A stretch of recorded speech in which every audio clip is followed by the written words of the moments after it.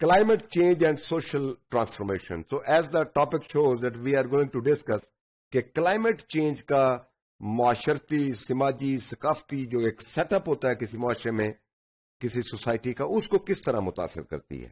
सो so, सबसे पहले तो हम क्लाइमेट की बात करते हैं कि क्लाइमेट क्या है और क्लाइमेट चेंज क्या होती है। So climate change refers to the significant long term changes in the global climate यानी ओवरऑल क्लाइमेट में जो चेंजेस आती हैं, वो सिग्निफिकेंट हैं या लॉन्ग टर्म जो चेंजेस हैं, वो क्लाइमेट चेंज में। यानी ये एक चेंज होती है जो वक्ती चेंज हो, जिसको ट्रांजिटरी या सीजनल को चेंज वो उस चेंज को क्लाइमेट चेंज नहीं कहा जाता, बल्कि ये over a long period of time significant change जो है वो किसी मौसम में, वो मौसमियाती तब्दीली कहलाती है। So global climate is connected system of sun earth and ocean जिसमें विंड है रेन है रेनफॉल है।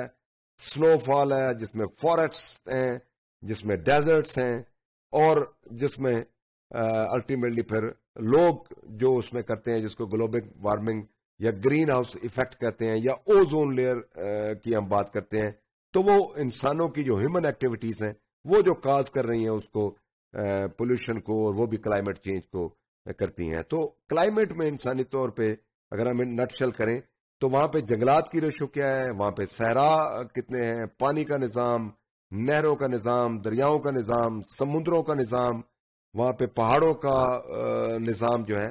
तो ये सारी चीज़ें ओवरऑल लेकिन चार चीज़ें इसमें बहुत अहम है कि किसी भी मुल्क में या किसी सोसाइटी के अंदर जो, जब हम क्लाइमेट की बात करते हैं तो उसमें ह्यूमिडिटी लेवल कितना है? विंडफॉल लेवल कितना है?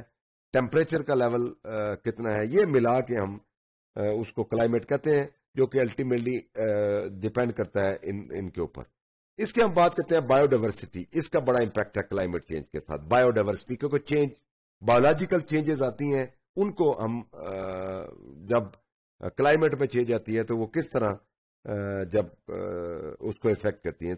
So the increase of temperature जब टेम्परेचर इंक्रीज होता है और क्लाइमेट अपीवल्स आते हैं, वो फिर इकोसिस्टम को इकोसिस्टम मीन जिसमें इंसान हैवानात नबतात आपस में एक एक सिस्टम के अंदर रहते हैं। एक को एग्जिस्टेंस का कॉन्सेप्ट है, जिसमें इंसान और ये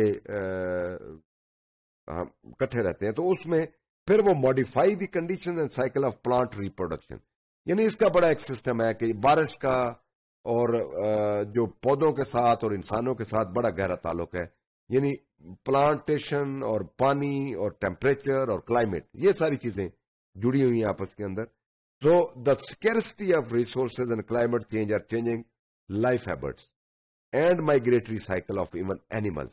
ये बहुत अहम बात है कि जो क्लाइमेट चेंज है इसमें जो चेंजेस आ रही हैं ये इंसानों के जो नेचुरल रिसोर्सेज हैं इंसानों के जो फाइनेंशियल uh, रिसोर्सेज हैं जो लैंड की सूरत में जो प्रॉपर्टी की सूरत में जो और सूरत में वो चेंज होते रहते हैं जब क्लाइमेट चेंज आता है और उनकी लाइफ हैबिट्स उनकी सोशल लाइफ और फिर खासतौर पे माइग्रेशन जो एनिमल्स की है, उन एरियाज़ में जहाँ पे लोगों की सबसिस्टेंस लेवल ही सिर्फ़ एनिमल्स हो, उनको तो फिर वहाँ पे चरागाहें हैं जिनके ऊपर लोग डिपेंड करते हैं तो वो उनका लाइफ ही चेंज हो जाता है due to the changes in climate उसके बाद ह्यूमंस की बात करते हैं। जो human being are not spared by the upheavals कि जब भी कहीं पे कुछ तब्दीलियाँ आती हैं, कोई खास तौर जो क्यामत खेज किस्म की क्लाइमेटिक चेंजेस आती हैं तो उनमें फिर ह्यूमन भी स्पेयर नहीं होता।